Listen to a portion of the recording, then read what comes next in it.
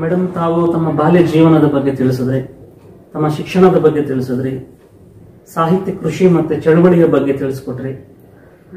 Madam ಕಡೆಯದಾಗಿ ತಮಗೆ ಕೆಲವೊಂದು ಪ್ರಶ್ನೆಗಳನ್ನು ನಾನು ಕೇಳ್ತೀನಿ. ತಮ್ಮಿಂದ ಒಂದಷ್ಟು ಉತ್ತರಗಳನ್ನು ಕೂಡ ನಿರೀಕ್ಷಿಸ್ತೀನಿ ಮೇಡಮ್ ಮೇಡಮ್ ಜಾಗತೀಕರಣ ಎನ್ನುವಂಥದ್ದು ನಮಗೆ ಕಳೆದ ಮೂವತ್ತು ವರ್ಷಗಳ ಅವಧಿಯಲ್ಲಿ ತೀವ್ರ ಸ್ವರೂಪದಲ್ಲಿ ಭಾರತದಲ್ಲಿ ಕಾಣಿಸ್ಕೊಂಡಿದೆ. ಈ ಜಾಗತೀಕರಣ ಎನ್ನುವಂಥದ್ದು ಒಂದು ಕಡೆ ಒಳ್ಳೆಯದು ಅಂತ ಅಂದ್ರೂ ಕೂಡ ಮತ್ತೊಂದು ಕಡೆ ಮಹಿಳೆಯರಿಗೆ ಇಲ್ಲೋ ಒಂದು ಕಡೆ ಮಾರಕ ಆಗಿದೆ ಅನ್ನೋದನ್ನ ತಾವು ತಮ್ಮ ಸಾಹಿತ್ಯದಲ್ಲಿ ಪ್ರತಿಪಾದಿಸಿದ್ದೀರಿ, ಬರೆದಿದ್ದೀರಾ?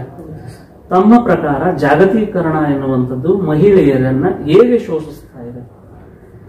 ಇದು ಬಹಳ ಗಂಭೀರವಾದ ಮತ್ತು ಅಷ್ಟೇ ಸಂಕೀರ್ಣವಾದ ಸಮಸ್ಯೆ ಇದು.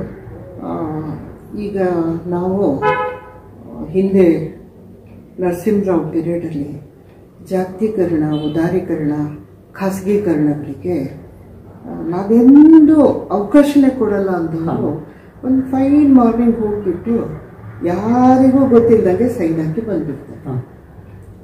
ಯಾರಿಗೂ ಗೊತ್ತಿಲ್ಲ ಮುಂದೆ ಏನಾಗುತ್ತೆ ಅಂತ. ಆದರೆ ಅದು ಜಾಗತೀಕರಣ ಬಡವರನ್ನ ಮಹಿಳೆಯನ್ನ ದಲಿತರನ್ನ ಆದಿವಾಸಿಗಳನ್ನ ಈ ಹಿಂದುಳಿದ ಬುಡಕಟ್ಟು ಜನಾಂಗ ಜನಾಂಗಗಳನ್ನ. ಮಹಿಳೆಯರನ್ನಂತೂ ಅತ್ಯಂತ ಕ್ರೌರ್ಯವಾಗಿ ನಡೆಸಿಕೊಳ್ಳುವಂತಹ ಕ್ರೌರ್ಯದ ಒಂದು ಪರಮಾವಧಿನೇ ನಾವು ಅದನ್ನು ಕಾಣ್ತೇವೆ ಈಗ ಆ ಜಾಗತೀಕರಣದ ಸಂದರ್ಭದಲ್ಲಿ ನಾವು ಹಿಂದೆ ಹೇಳ್ತಿದ್ವಿ ಮಹಿಳಾ ಸೌಂದರ್ಯವನ್ನು ಚಂದವನ್ನು ಮಾರುಕಟ್ಟೆಯ ಸರಕಾಗಿಸ್ಕೊಳ್ತಾ ಇದೆ ಅಂತ ನಾವು ಪ್ರತಿಭಟಿಸ್ತಿದ್ವಿ. ಆದರೆ ಇವಾಗ ಆ, ಮಹಿಳೆಯನ್ನ ಎಷ್ಟು ಕ್ರೂರವಾಗಿ ನಡೆಸ್ಕೊಳ್ತಾ ಇದೆ ಅಂದರೆ ಈ ಒಪ್ಪಂದಗಳೇ ಹಾಗಿದ್ದಾವೆ ಜಾಗತೀಕರಣದಲ್ಲಿ. ಆ, ಅವರು ಒಪ್ಪಂದಗಳ ಮರೆಯಲ್ಲಿ ನಮ್ಮನ್ನ ನಿಯಂತ್ರಿಸ್ತಿರ್ತಾರೆ. ಹಿಂದೆ ನಮಗೆ ಒಬ್ಬ ಶತ್ರು ಇರ್ತಿದ್ದ ಎದುರುಗಡೆ.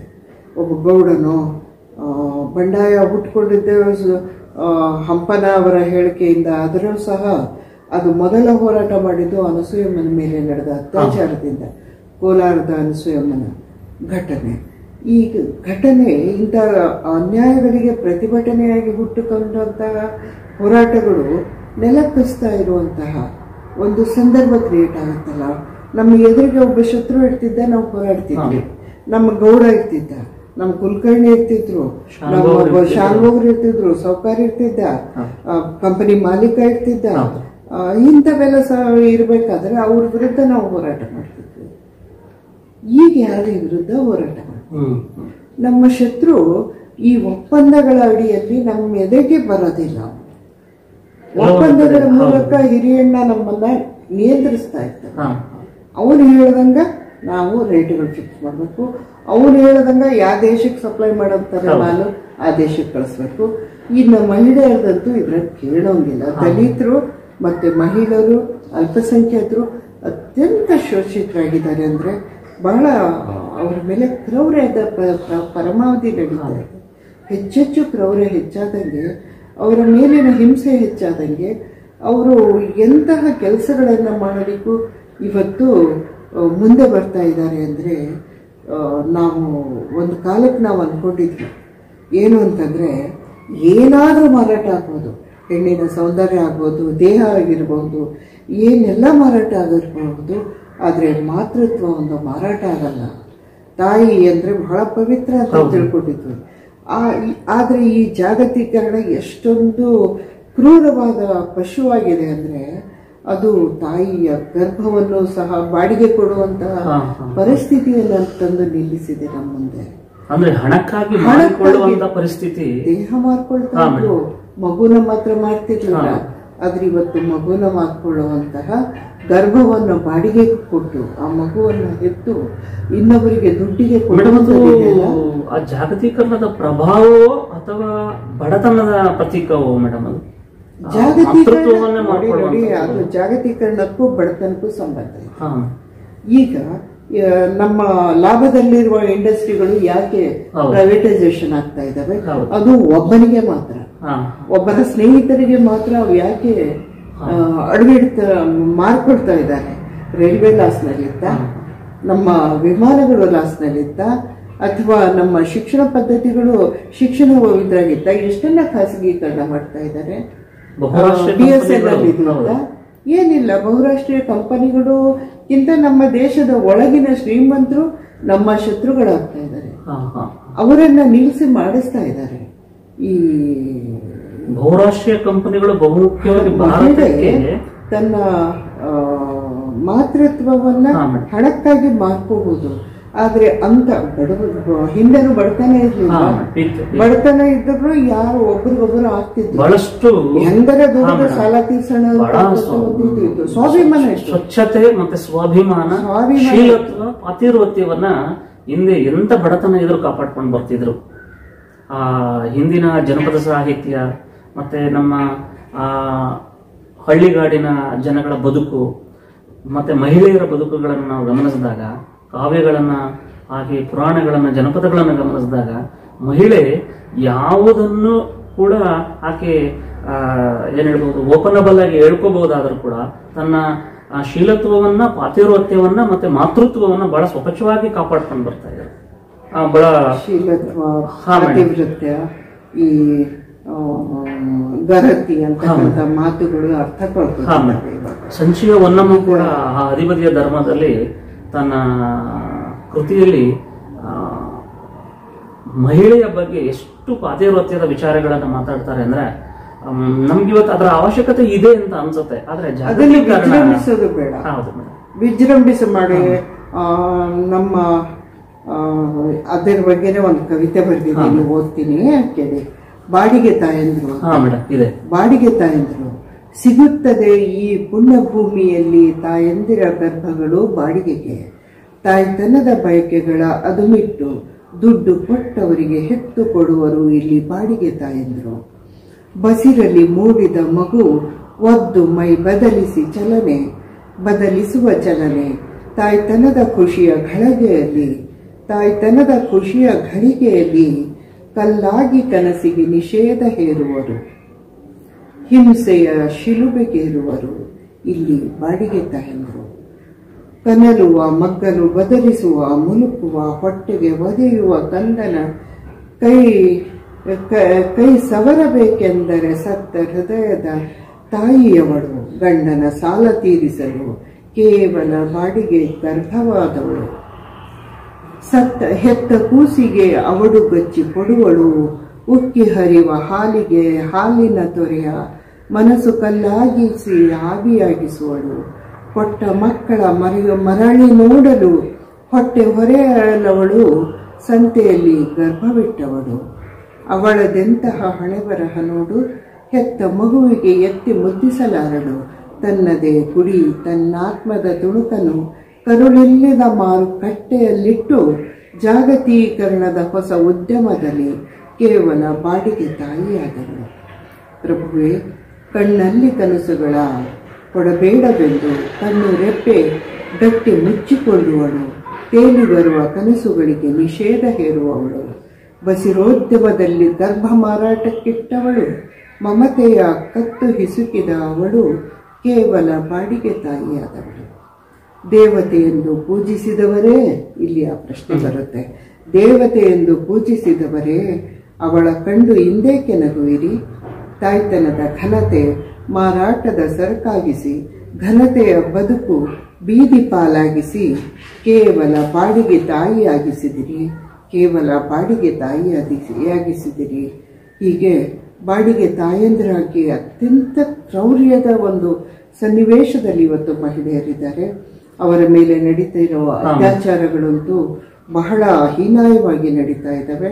ಅದರಲ್ಲಿ ಉತ್ತರ ಪ್ರದೇಶದಲ್ಲಿ ನಡೀತಾ ಇರುವಂತಹ ಹಿಂಸೆ ಆ ಸಿಂಗರನ ಒಂದು ಇದು ಹತ್ರಸರ ಘಟನೆಗಳು ನಮಗೆ ಪಾಠ ಹೇಳ್ತಾ ಇದ್ದಾವೆ. ಎಷ್ಟು ಹಿಂಸೆ ಆದರೂ ಸಹ ಪ್ರಭುತ್ವವೇ ಯಾವ ರೀತಿ ಅಪರಾಧಿಗಳ ಪರವಾಗಿ ನಿಲ್ಲುತ್ತೆ ಅಪರಾಧಿಗಳನ್ನ ಸಂರಕ್ಷಣೆ ಮಾಡುತ್ತೆ. ಜೆ ಎನ್ ಯುನಲ್ಲಿ ಮಹಿಳಾ ವಿದ್ಯಾರ್ಥಿ ಮುಖಂಡರ ಮೇಲೆ ನಡೀತಕ್ಕಂಥ ಹಲ್ಲೆಗಳನ್ನ ಅದು ಹೇಗೆ ಸಮರ್ಥಿಸಿ ಇತ್ತೀಚಿನ ದಿನಗಳಲ್ಲಂತೂ ಕೌಟುಂಬಿಕ ದೌರ್ಜನ್ಯ, ಮಹಿಳಾ ದೌರ್ಜನ್ಯ, ಮಹಿಳೆಯರ ಮೇಲೆ ಅತ್ಯಾಚಾರ, ಬಾಡಿಗೆ ತಾಯ್ತನ, ಬಹುರಾಷ್ಟ್ರೀಯ ಕಂಪನಿಗಳು ಎಲ್ಲೋ ಒಂದು ಕಡೆ ನೀವು ಹೇಳಿದ ಹಾಗೆ ಬಹಳ ನಾಜೂಕಾಗಿ ಆಕೆಯನ್ನ ಹಣ ಕೊಟ್ಟು ಶೋಷಣೆ ಮಾಡುವಂತ ಮಟ್ಟಕ್ಕೆ ಇವತ್ತು ತಂದಿಟ್ಟಿರುವಂತದ್ದು ಮಹಿಳೆಯರನ್ನು ಎಲ್ಲೋ ಒಂದು ಕಡೆ ಶೋಷಣೆ ಮಾಡ್ತಾ ಇರುವಂತದ್ದು ಕಣ್ಣಿಗೆ ಕಾಣಿಸಿದ್ರೂ ಕೂಡ ನಾವು ಕಾಣದಂತೆ ಇವತ್ತು ಬದುಕಬೇಕಾದ ಪರಿಸ್ಥಿತಿಯಲ್ಲಿ ಇದ್ದೀವಿ ಅಂತ ಅನಿಸುತ್ತೆ. ಅದರ ಬಗ್ಗೆ ಬಹಳಷ್ಟು ವಿಚಾರಗಳನ್ನು ತಾವು ತಮ್ಮ ಸಾಹಿತ್ಯದಲ್ಲಿ ಆ, ಪ್ರಶ್ನೆಗಳನ್ನ ಎತ್ತಿದ್ದೀರಾ? ಇದು ಎಲ್ಲೋ ಒಂದು ಕಡೆ ಮುಂದಾದ್ರೂ ಸರಿ ಹೋಗುತ್ತೆ ಅಂತ ಅಂದ್ರೆ ಆಗೆಲ್ಲ ಒಂದು ಆ ಸಾಹಿತ್ಯ ನಾವು ಧ್ವನಿಯನ್ನು ಎತ್ತಿದ್ದಕ್ಕೂ ಕೂಡ ಸಾರ್ಥಕ ಅಂತ ಅನ್ಸುತ್ತೆ. ಥ್ಯಾಂಕ್ ಯು ಮೇಡಮ್ ಮೇಡಮ್ ಇತ್ತೀಚಿನ ದಿನಗಳಲ್ಲಿ ಒಂದು ಒಂದೇ ಒಂದು ಲಾಸ್ಟ್ ಪ್ರಶ್ನೆ. ಆ, ಇಂದಿನ ಯುವ ಬರಹಗಾರರಿಗೆ ನಿಮ್ಮ ಸಲಹೆಗಳನ್ನ ಹೇಳಿ ಮೇಡಮ್ ಹಿಂದೆ ನಾವು ಬರೆದಾಗ ಅದೆಷ್ಟೋ ದಿವಸ ಇದು ಮಾಡಿ ತಿದ್ದಿ ತೀಡಿ ಅದನ್ನ ಮತ್ತೆ ಮತ್ತೆ ಓದಿ ಪ್ರಕಟಿಸ್ತಾ ಇದ್ವಿ. ನಮಗೆ ಪ್ರಕಟಣಕ್ಕೆ ಮಾಧ್ಯಮಗಳಿರಲಿಲ್ಲ. ನಾವು ಮುಚ್ಚಿರ್ತಿದ್ವಿ ನಮ್ಮ ಅಪ್ಪನಿಗೆ ಅದು ಮುಚ್ಚುಮುಚ್ಚಿರ್ತಿದ್ವಿ.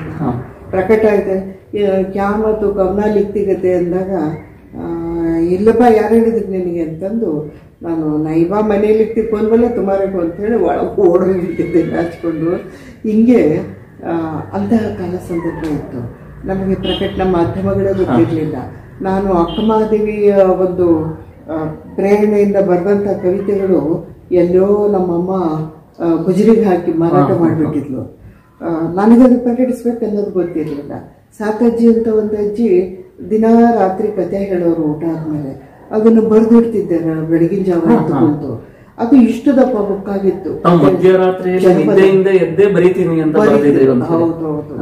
ಅದೇ ಪ್ರಶಸ್ತ ಸಮಯ ಅಂತ ನಾನು ಭಾವಿಸಿ ಅವಾಗೇನೆ ಬರೀತಾ ಇದ್ದೆ. ಯಾಕಂದ್ರೆ ಅವಾಗ ನಮಗೆ ಫೋನು ಮೊಬೈಲ್ಗಳು ಯಾವ ಡಿಸ್ಟರ್ಬೆನ್ಸು ಇರಲಿಲ್ಲ. ಅವಾಗಿನ ಕಾಲದ್ದು. ಅವಾಗ ಬೆಳಗಿನ ಜಾವ ಬಹಳ ಪ್ರಶಸ್ತ ಸಮಯ ಅಂತ ಬೆಳೆಯದ್ದು ಬರೀತಾ ಇದ್ದೆ. ಆ ಕಥೆ ಕವನಗಳು ಬಂದು ಸುಮ್ಮನೆ ಇರ್ತಿದ್ವಿ. ಆದರೆ ಈಗ ಮಕ್ಕಳ ಕೈಯಲ್ಲಿ ಮೊಬೈಲ್ ಬಂದ್ಬಿಟ್ಟಿದೆಯಲ್ಲ. ಮೊಬೈಲಲ್ಲಿ ಚಿಕ್ಕ ಚಿಕ್ಕ ಕವಿತೆಗಳು ಪ್ರೇಮ ಸಂಭಾಷಣೆ ಅನ್ನೋದೇ ಅಥವಾ ಏನೋ ಒಂದು ಕವಿತೆಗಳು. ಇರ್ತಾವಲ್ಲ, ಹಾಸ್ಯ ಕವಿತೆಗಳು ಪ್ರೇಮ ಕವಿತೆಗಳು ಆ, ಒಂದು ಸಂವೇದನೆಯನ್ನು ಪ್ರಕಟಿಸುವಂತಹ ಕವಿತೆಗಳು ಬಹಳ ಬರ್ತವೆ. ಕೆಲವೊಂದು ಅಬ್ಬರದಲ್ಲಿ ಬರ್ತವೆ, ಕೆಲವೊಂದು ಅವಸರದಲ್ಲಿ ಬರ್ತವೆ, ಕೆಲವು ಅರ್ಥಪೂರ್ಣ ಆಗಿರ್ತವೆ, ಕೆಲವು ಸುಮ್ಮನೆ ಜಾಳ್ಜಾಳಾಗಿರ್ತವೆ. ಅದೆಲ್ಲ ಇದ್ದಾಗೂ ಸಹ ಅನೇಕ ಯುವ ಬರಹಗಾರರು ಬಹಳ ಸಶಕ್ತವಾದ ಕಾವ್ಯವನ್ನು ಬರೀತಾ ಇದ್ದಾರೆ. ಅದು ನಮಗೆ ಒಂದು ಮುಂದಿನ ಆಶಾದಾಯಕ ಆಶಾದಾಯಕ ಒಂದು ವಿಷಯ ಆಗಿದೆ. ಅದನ್ನ ನಾವು ಹೆಮ್ಮೆಯಿಂದ ಸ್ವಾಗತಿಸಬೇಕಾಗುತ್ತೆ ಆ ಮಕ್ಕಳನ್ನು. ಥ್ಯಾಂಕ್ ಯು ಮೇಡಮ್ ಇಷ್ಟು ಹೊತ್ತು ಚಂದ್ರಮ ವಾಹಿನಿಗೆ ತಮ್ಮ ಬಾಲ್ಯ, ಹಾಗೆ ಶಿಕ್ಷಣ, ಸಾಹಿತ್ಯ ಚಳುವಳಿ ಮತ್ತೆ ತಮ್ಮ ಸಾಹಿತ್ಯ ಕೃಷಿ, ಹಾಗೆ ಇತ್ತೀಚಿನ ದಿನಗಳಲ್ಲಿ ನಡೀತಾ ಇರುವಂತಹ ಕೆಲವೊಂದು ಪ್ರಚಲಿತ ಘಟನೆಗಳ ಬಗ್ಗೆ ತಮ್ಮ ಪ್ರತಿಕ್ರಿಯೆಯನ್ನು ನೀಡಿದ್ದೀರಾ? ತಾವು ಕನ್ನಡ ಸಾಹಿತ್ಯದಲ್ಲಿ, ಅದರಲ್ಲೂ ಮಹಿಳಾ ಸಾಹಿತ್ಯ ಚರಿತ್ರೆಯಲ್ಲಿ ತಮ್ಮದೇ ಆದಂತಹ ಒಂದು ಗಟ್ಟಿ ಧ್ವನಿಯಾಗಿ, ತಮ್ಮದೇ ಆದಂತಹ ಕೊಡುಗೆಯನ್ನು ನೀಡಿ ಅಚ್ಚೊತ್ತಿದ್ದೀರ ತಮ್ಮ ಸಾಹಿತ್ಯದ ಕೊಡುಗೆಯನ್ನ? ನಿಮ್ಮ ಸಾಹಿತ್ಯ ಹೀಗೆ ಇನ್ನೂ ಮುಂದುವರಿಲಿ? ಈಗಾಗಲೇ ತಮ್ಮ ಸಾಹಿತ್ಯದ ಸಾಹಿತ್ಯಕ್ಕೆ ಸಂಬಂಧಪಟ್ಟಂತೆ ಒಂದು ಡಿಲೀಟ್ ಪದವಿ ಹಾಗೆ ಎಂ ಪದವಿ, ಗುಲ್ಬರ್ಗ ವಿಶ್ವವಿದ್ಯಾಲಯದಲ್ಲಿ ಒಂದು ಪಿ ಎಚ್ ಡಿ ಪದವಿ ತುಮಕೂರು ವಿಶ್ವವಿದ್ಯಾಲಯಕ್ಕೆ ಮತ್ತೊಂದು ಪಿ ಎಚ್ ಡಿ ಪದವಿ ಸಬ್ಮಿಟ್ ಆಗಿದೆ.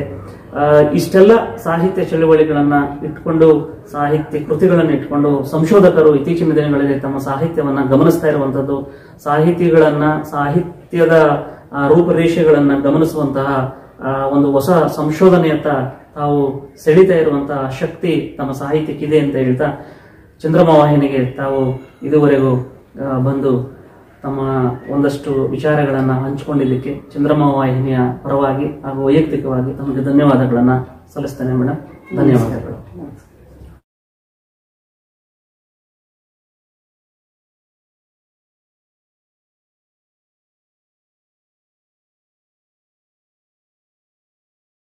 नमस्कार दोस्तों, मैं रविंद्र त्रिपाठी हूँ। अभी बंगलुरु के विनोबा हवाई आश्रम से बोल रहा हूँ, जहाँ से ग्राम सेवा संघ की तरफ़ से पवित्र अर्थव्यवस्था के लिए सत्याग्रह चल रहा है। हमारे साथ मौजूद हैं कन्नड़ और उर्दू की कवित्री शरीफा जी। शरीफा जी, आपसे एक सवाल है कि आप इस सत्याग्रह में किस वजह से शरीक होने आई हैं? ये सत्याग्रह आज की बहुत ज़रूरी काम है ये सत्याग्रह, क्योंकि हमारे देश में आजकल अर्थव्यवस्था इतनी नीचे गिर रही है। इसको उठाने के लिए हम ग्राम स्वराज का एक कल्पना कर सकते हैं, वो कैसे हो सकता है।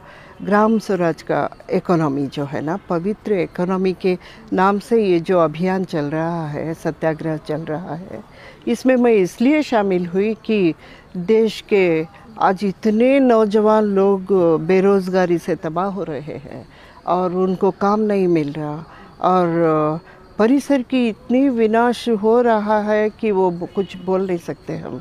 आगे की ज़िंदगी के बारे में सोच के हमें बहुत फ़िक्र होने लगता। इसलिए मैं प्रकृति को कैसे बचाया जाए प्रकृति को बचाना चाहिए रोज़गार को बचाना चाहिए बड़े बड़े कामगारों को बड़े बड़े इंडस्ट्री को नहीं छोटे छोटे काम को हम बचाना चाहिए। छोटे काम से जो है ना सबको रोज़गार मिलता। बड़े काम में मशीन कर लेंगे तो आदमी बेरोज़गार हो रहा है। शुक्रिया शरीफा जी। धन्यवाद आपको। आप लोगों ने शरीफा जी की बात सुनी। आपसे अनुरोध है इस आंदोलन में या तो यहाँ उपस्थित होकर शरीक हों या जहाँ से हैं, वहीं से इसे समर्थन दें। धन्यवाद।